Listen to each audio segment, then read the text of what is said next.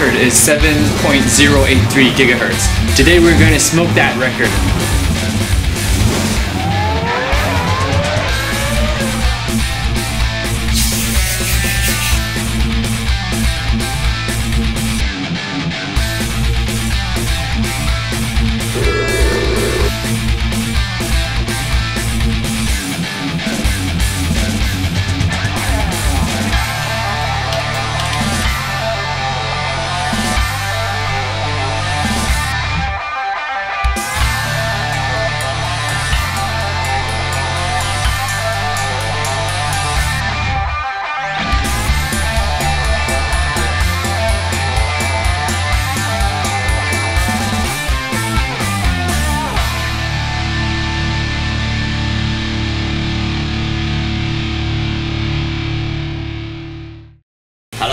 And I'm Nick Shih, and from this is ASRock headquarters in Taipei, and I'm doing the overclocking with the liquid helium, and this is the liquid nitrogen, and this is liquid helium, and uh, he- he's my friend Kevin, and also he's working a website in Taiwan, and so today we're trying to push a retail chip and under liquid helium cooling.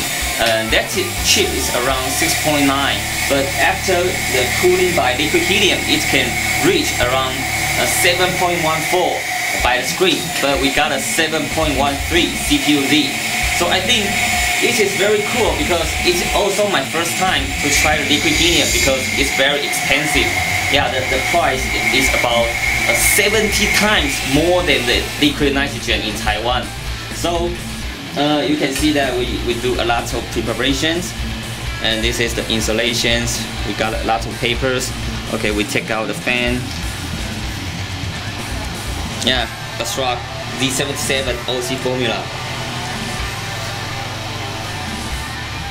So I think this is pretty cool to do such kind of uh, overclocking because uh, very rare experience because I have no chance to do before because too expensive.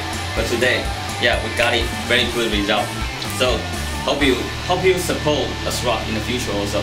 Thank you. Bye bye.